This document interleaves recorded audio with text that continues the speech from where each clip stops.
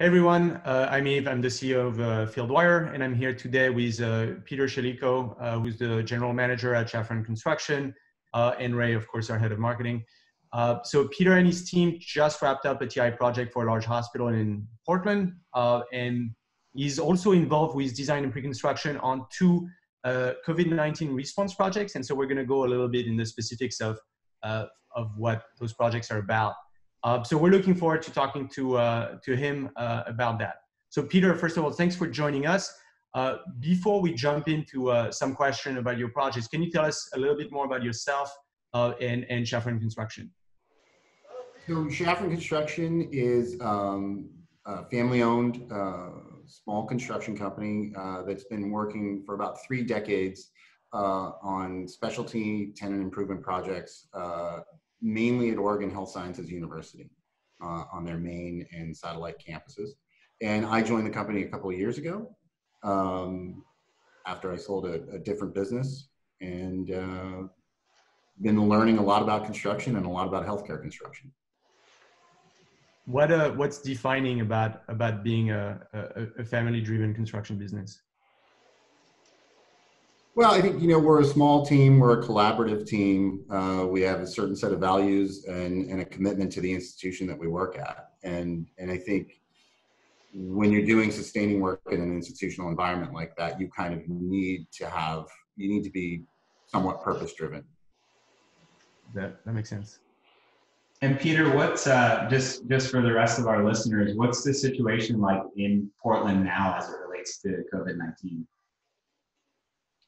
I think similar to what we were discussing about uh, what's happening in San Francisco, I think we did social distancing because of the example of Seattle. Social distancing came in early here. Uh, I think that you know, everybody talks about bending the curve down. I think somewhat the curve has been bent down. Um, and it seems like you know the city overall is responding well. The caseload and the the caseload at the hospitals probably is at the lower end of what they what they expected, but everybody is really staying home. And you, I know you just, uh, and we're going to talk about that in a minute. I know that you've been working on a healthcare project there. How has the rest of construction in Portland been impacted? Are, are all projects still going, or are they trying to categorize as central projects? We just have anecdotal evidence. Um, most of the people, we, most of the subs we work with are in healthcare. Um, we met with some of them uh, earlier this week to look at some COVID response projects, and they said that all of their healthcare stuff has really basically dried up. I do know anecdotally that uh, there are people working on school projects because schools are empty, so I think some of that work has been accelerated. Um, but I don't know. You know, uh, the governor of Oregon did deem construction and essential activity. So I think projects, when you, if you do drive around, you do see projects large and small continuing to a certain hmm. extent. Yeah, I mean, I think if we look at the numbers, I think the West Coast reacted very early uh, to the to the COVID-19 epidemic. So we don't have quite as big of a capacity issue yet in hospitals as maybe New York, for example. Um, so that's a good transition. I think, uh, as, as Ray was saying, you, you just wrapped up a, a, healthcare project for, for a client. Can you can you tell us a little bit more about what, what that project was about and um, and how it relates to the current situation, maybe? Yeah, that that project wasn't COVID related. That was a, a, a project in uh, in a healthcare space uh, in the hospital. Uh, but it was a research project that we were already working on, and we made the decision as a team to uh, shut that project down earlier than we got direction from the hospital that they were on modified operations because we felt like we had to figure out uh, what we were going to do for our team and our subcontractors. We got that uh, in terms of safety in response to COVID.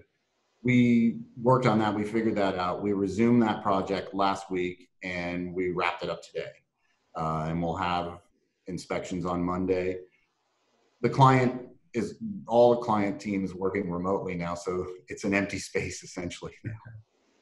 Interesting. So, what were some of the the, the critical decision factors then uh, that you guys considered when after shutting down the project to be like, what do we need to figure out to be able to resume work? So we obviously the the first consideration is how do we keep our team members safe.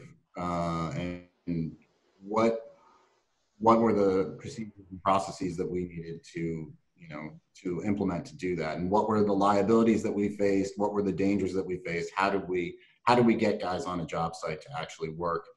How do we uh, how do we get subs on a job site? How do people interact? And so obviously you kind of start at the top and you realize depending on the size of the space and this was a small project kind of it's a small space you can't stack any of your subs each trade has to so you're kind of lengthening your schedule stretching it out a little bit um, and luckily, while we were trying to make this decision, we were looking at a project at a, at a uh, an offsite surgery center, and we had to go and look at it. And when we went when we went to look at it, they uh, made us sign in, and they took our birth dates and our name, our temperatures.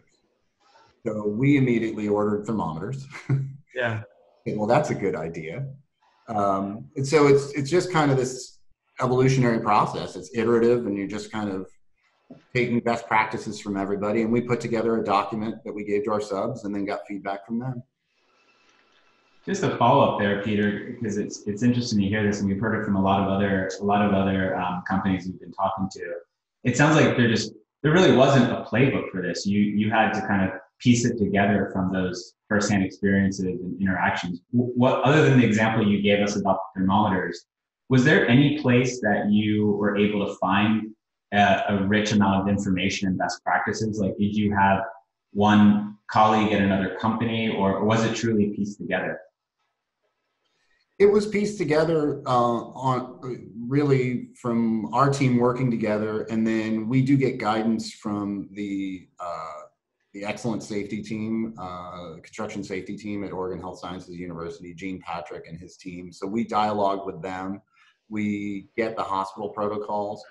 Um, we get all that information uh, and, and, we have an open conversation with them. But it was really kind of thinking through it and trying to be logical about it and, and seeing what made sense in terms of safety. And the one point I would make is we started to bring this up early with our team, and because it's construction, um, a little bit of machismo, I would say. You know, oh, you're, well, you're overreacting. You know, I came in to the office one day, maybe three weeks ago, or I can't even remember time, but you know, with bottles of Lysol and rags and gloves, and you know, I was wiping handles, and and my colleagues were kind of dismissive of that. You know, it's just as maybe all of us were in some ways. It's uh, it, it's really interesting because I think the the situation has been a driving force for uh, mentalities to evolve quite a bit. I think there's a tendency, as you said, to power through stuff in construction and yes, you're sick, but you're still showing up on site because the work has to get done. Um, and in, in this situation, I think it's it's maybe creating a, a, bit more balance and and it's making people more comfortable with uh, with with talking about those subjects. I think we see the same thing on the on the technology front right now, where some companies are using that as a force to change how they're doing things. Uh, because yes, part of their crews are are are remote or or they're operating with uh, reduce crews on site, so they need to be more efficient. So it's a, it's a very interesting uh, uh, evolution force for the industry right now. Agreed. Peter, in addition to the healthcare project that you just wrapped up today, you mentioned to me that you're working on um, two COVID 19 response projects as well. Um, and I think you mentioned that you're in the design and pre construction phase with those. Could, could, you, for me, I don't know much about what a COVID 19 response project would look like. Could you just walk us through like what, what those are and how you're going about that? Yeah. So um, the project we're working on, the one project we're, we're really focused on, we have daily meetings on, is um, a telemedicine program, uh, basically a virtual ICU. That we were we were awarded that project, um, the pre-construction we started working on that in January before any of this arose. And so obviously as the response to COVID, as a response to COVID-19, that project has been accelerated. So we, we're having daily meetings with the design team um, and kind of through that process, trying to figure out how we can design, build, permit, accelerate everything. The project was originally supposed to be delivered in September. Now we're trying to move that delivery up to July. And so a lot of what we run into um, you have to go outside of the normal process, right? So the city of Portland has been great. They've come up with uh, uh, an alternative kind of an accelerated COVID project permitting process. They've tiered all of their permitting. They have tier one, tier two, tier three, tier four. Tier one is all hospital work. But even within tier one, if it's COVID, uh, they're turning around permits within three or four hours. Wow. Yeah. That's a that's a that's a that's a big change. What uh so I think this is really interesting because we're we're seeing once again the situation being a driving force that impacts really just you know common design build processes here. What what are other ways other than permitting that that has helped you kind of like accelerate the process uh, right now? Well, what we're trying to do is is figure out ways to you know split the project into you know we usually wait until we had full design documents and go in and just build everything. And we're trying to figure out what can we do uh, in terms of infrastructure. So in terms of all the mep work what can we piece out and just get guys working on? Because again we can't trade stack we mm-hmm. can't get people into this space as many people as we would want to because we have to social distance we have to start looking at things and saying okay if you're going to have a crew of more than one person in there mm-hmm. um, how can you perform this work how can we do it and so we we're trying to figure out ways to get people in early mm-hmm. and kind of chop the job up a little bit more it's it's inefficient in a certain way right um, but it's kind of what we have to do. Um, and then we have to obviously look at supply chains lead times. Uh, that's a constant issue in the design now. Is this product is, is, this finish you know is this flooring available now? It's available now.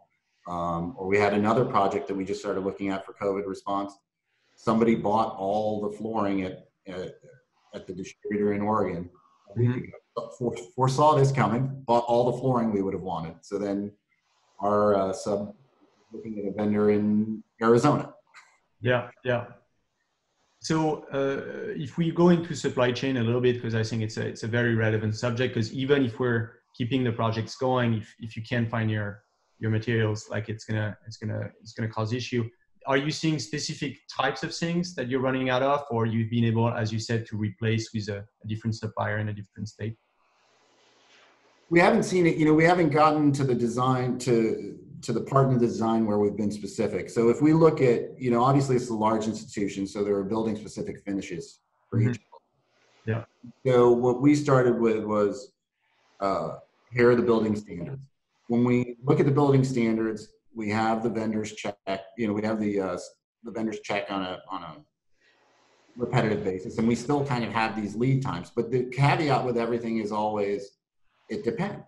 Mm-hmm. Uh, what happens with manufacturing, what happens with the supply chain, you know, many, many things are made overseas and shipped here. So we're looking at what the inventory is, what the stock is at a facility somewhere across the country. What happens with trucking after that? And so I think in regard to the projects we're working on, it's more, there's kind of a, a matrix being put together by the design team based on uh, the building standard finishes and then the availability, the pricing, and the unknowns, kind of. I'm just trying to land on things and see how it works. I don't know how it's going to work, to be honest Okay. So, as, as a company, I think uh, is very focused on, on healthcare to start with. So, it makes sense for you uh, to focus on uh, COVID response projects. Uh, is that is that like a like a company strategy right now to to to go on bids for those projects? uh, is is that a very specific market? What what kind of volume do you see uh, in in COVID response projects compared to like what would be the normal activity of the company? Well, I mean, most of our normal projects in the healthcare environment are uh, are shut down. Okay. That's uh, you know, as I said, we we mainly work with one institution, and we in the process of expanding, but most of those have been put on a hiatus as the institution looks for funding, right? I mean, they're, it's a very complex situation where healthcare institutions are focused almost solely on COVID. Their costs for that go up. All their elective procedures are gone, so their revenue goes down. Um, so they've put a hold on uh, myriad construction projects across the institution.